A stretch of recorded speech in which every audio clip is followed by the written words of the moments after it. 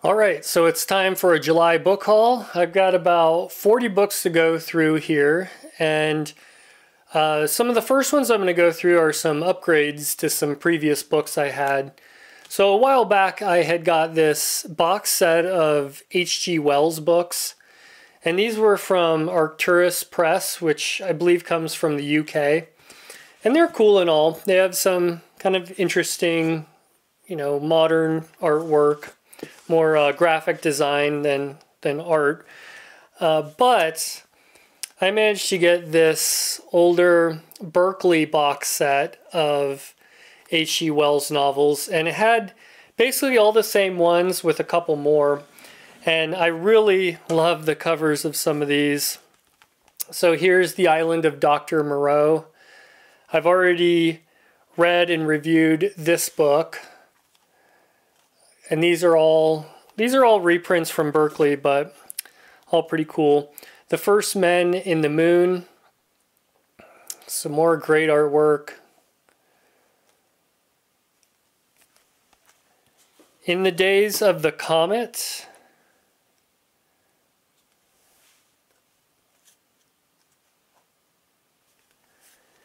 The Invisible Man. This one I'll be reading soon for the series that I'm doing.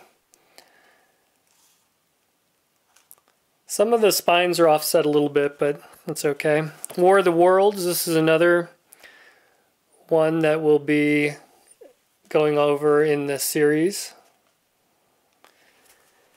The Time Machine, now this is the only one that had a little bit of cracking on the spine,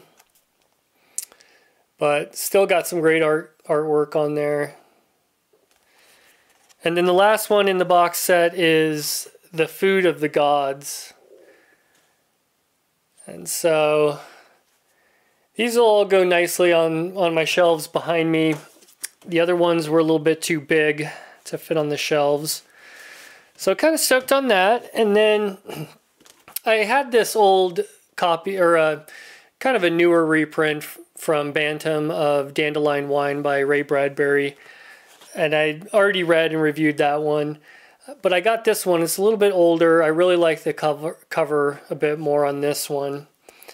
And so I'm going to upgrade this to my collection. The other one will go into my donation or giveaway or someday sell. And then I had this copy of Earth Abides by George R. Stewart. This was my 2023 book of the year.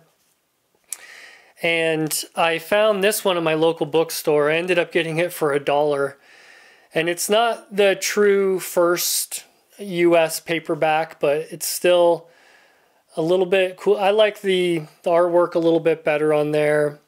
It's got the painted text block and it was in like perfect shape. So those are some upgrades. and then also got a paperback of The Martian Chronicles by Ray Bradbury. And this one I had a couple other like hardbacks or trade paperbacks, but didn't have a paperback of that one. Then Andrea Andre Norton Starborn. This is from Ace Books. Still have yet to read anything from Andre Norton. She's she wrote so many books. I see them everywhere. That kind of automatically makes me reluctant to really dig in, but I, I definitely will be checking her out at some point. Then Jack McDevitt, Deep Six. Uh, I think I will really like Jack McDevitt. I think he mixes science fiction with archaeology, and those are two things I really enjoy. So I don't know if that's the best place to start. I think I have some other ones of his that it would probably be better to start with. Then I got Poul Anderson, The Avatar. This one came in a lot that I got of Poul Anderson from eBay. And it's just got a fantastic cover. And it's in really good shape. That one is from Berkley. Another Poul Anderson. This is Orion Shall Rise. And this is a pocket books. And then Arthur C. Clarke's 3001, The Final Odyssey from Del Rey. I have the other three in the, I don't even know what you call this, the Odyssey series, starting with 2001. Um, but I was missing this one, so now I have all of them. I'd eventually like to read through all of them. Then we got uh, Barry Malzberg, The Men Inside. Very, very interesting cover. This is from Magnum Science Fiction. Let me see if I can get that. There's a lot going on in this one. So we got that. This is an author I've never heard of. It's The Death Master by Benjamin Appel. But I got this for a buck and it's from Popular Library, but the cover is really cool. Maybe at some point I'll get around to reading this, or maybe someone knows something about that author and that book. Fritz Lieber, Our Lady of Darkness. Got quite a few Fritz Liebers now, or Leiber, I should say. But the, I, I've only read one of his novels so far. And then Theodore Sturgeon, Not Without Sorcery. Very interesting cover on this one. Someone did rip a price sticker off the top, so it's kind of messed up the Ballantine badge there. But I've pretty much liked everything I've read from Teddy, but I haven't heard of that one, haven't really heard many people talk about that one. Then I got Damon Knight, The Other Foot. Damon Knight is someone that I've heard a lot about recently, and he brought, I think he was kind of responsible for bringing a more literary effort into science fiction. So I definitely want to try reading some of his short works and even some of his novels. I think I have two or three at least of his now. Then I got a few DAWs here. We got James Blish, Midnight Summer Century, or Midsummer Century. And this one isn't in the best shape, but definitely serviceable. And it's got some really interesting artwork there. And then Blueface by G.C. Edmondson. I don't know anything about this author or this book, but this is a real thin, small DAW. This one's only 128 pages, so never know. I might kind of knock some of these out in between some of my other reads. Ian Wallace, A Voyage to Dari. I originally got Ian Wallace confused with Ian Watson and bought up a few of his books. And I know Ian Watson, I'm reading one of his books right now, but I haven't heard much about Ian Wallace, so we'll just have to see. Then I got a Heinlein. This is Job, a comedy of justice. You know, I don't I don't know about Heinlein really. I mean, I've I've read a few of his books that I like. I really like Stranger in a Strange Land. I I might read some of these at some point, but it's listed as a Del Rey fantasy. This was uh, locally I got this for a dollar and it was in really nice shape, so went ahead and picked it up. Then we got some Isaac Asimov. We got the Bicentennial Man and other stories from Fawcett and Crest kind of doing a thing, revisiting some of the robot stories and filling in some of the ones that I never read. I finally got a copy of I, Robot. I've read this a couple times in the past and have passed on many Will Smith covers and just beat up copies, but finally found a pretty decent copy of a Fawcett Crest. And then the last one from Asimov that I got here is eight stories from the rest of the robots. And if you don't know, the, the rest of the robots, it's basically these eight short stories. And then they tacked on two kind of full length novels that he had written. I forget, I forget the exact ones, but they're the robot novels. So this kind of just stripped out the eight short stories and took the novels out of it. Okay, we got getting into the the better of the lot as far as I'm concerned here. Got Robert Silverberg Downward to the Earth. And this is a signet and there's a kind of a batch of books from Silverberg that all have have this livery. And I think I almost have them all now. I'll have to check at some point. Got a Spinrad. We got Norman Spinrad, No Direction Home. And this is from Pocket Books. This is one I did not have. Now we got some from Michael Bishop, Stolen Faces, and I recently read, what was it called? Transfigurations, and someone mentioned this book. And then right after that, I found this copy, and I was kind of considering reading it. It even mentions uh, Little Knowledge, and and then I read the synopsis of this one, and this one has me intrigued. This this might be my next Michael Bishop read. Also got Beneath the Shattered Moons, and the original title was And Strange at Ecbatan the Trees, something like that. I believe this was his first novel ever published, and then Daw did a a reprint. I think I think I heard him talking about this one. I think he revised it a bit too, but not sure. And then me and Matt from Science Fiction Reads and Richard from Vintage SF, we've been doing this uh, Ballantine Best of series, and we all have like the main core books. I think there's 21, but there was two that were kind of added on later. And one I, I had been wanting, and it's the best of John Brunner mostly for the cover and mostly because I really do want to read this. I, I think, uh, from what I can tell, I'll really get along with his writing, and all these short stories sound pretty interesting.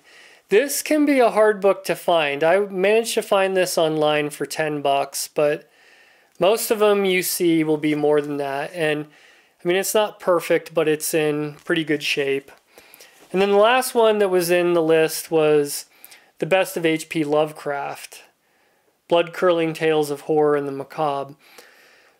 But when I ordered this, I, I couldn't quite tell. I, I didn't realize this is a trade paperback. I'll hold up kind of a standard one here. And maybe someone can tell me, you know, all of them are the, the normal paperback size, and then this is the only one that's a trade paperback, and that kind of bothers me a bit. So I don't know if this was ever published as a standard paperback. Maybe I just bought the wrong one by accident. But maybe someone can let me know. I don't know. From my research, I haven't found like a good picture of someone holding it up to another book to let me verify it. Then I've got a couple hardbacks. I I showed this one when I did the review of Transfigurations by Michael Bishop it's just very interesting how different the covers are in in quite a few different Michael Bishop books, but um, I really like this book. It was just so fascinating, so unique. Um, definitely want to reread that again at some point too. And I guess I should, yeah, this is a true first edition. We got the price on the dust jacket and all that. And then also got Ancient of Days by Michael Bishop, and this is from Arbor Press. And this is a first edition, uh, the first uh, printing in the U.S. hardback, with the uh, the price there of 16.95. Okay, last stack here we got two from Clifford Simak as I slowly try to get every novel, and I also have a lot of short story collections of his. But we've got Project Pope from Del Rey. This might be my next. Well, I don't know. I've read a lot of his religious based science fiction, so I might mix it up with something else. Um, we got The Visitors. This is also from Del Rey.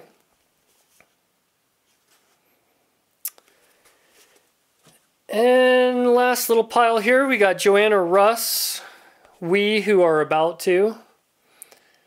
And this is from Dell.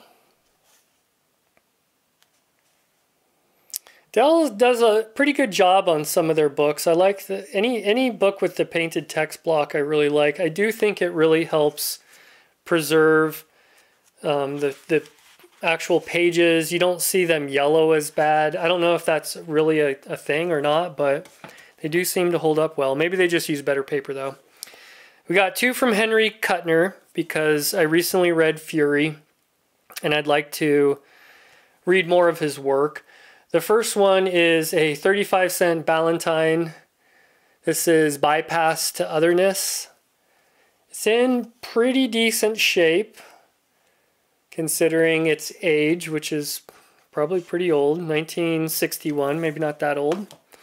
And then Return to Otherness, which I assume has some sort of tie-in. I, I believe these are all short stories um, collected up, but you know, and I didn't check. I also have the Ballantine Best of Henry Kuttner. There could be a lot of the same stories in both of these. Now we got a couple of these that I really like. These are these little Ace minis. I don't know the technical term for them, but we got Rogers Zelazny, Four for Tomorrow. And this this one is in just such good shape and even the the text inside there's there's no yellowing which seems to happen to some of these. It's just in fantastic shape. So glad I got that. And then Philip K. Dick, Dr. Blood Money. And this, I believe, is the true first US printing. I can't remember if this one came as an ace double. I, I don't really like collecting ace doubles for a couple different reasons, but um, I really like these smaller aces. And Philip Dick has quite a few that were published in this format, and I have quite a few of them now. I think I'm only missing a few. Then my favorite one of my favorites, I guess, that I've read from from Dick so far, A Scanner Darkly. I love this book. I love the movie, the sort of animated one.